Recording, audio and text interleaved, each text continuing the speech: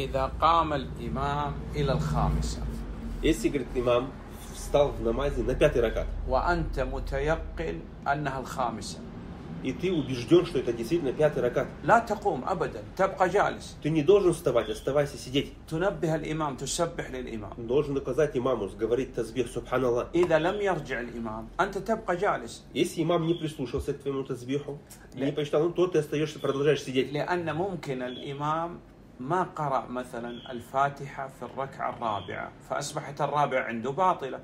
مفهوم؟ أما أنت أكملت الصلاة إذا ما يمكن تزيد.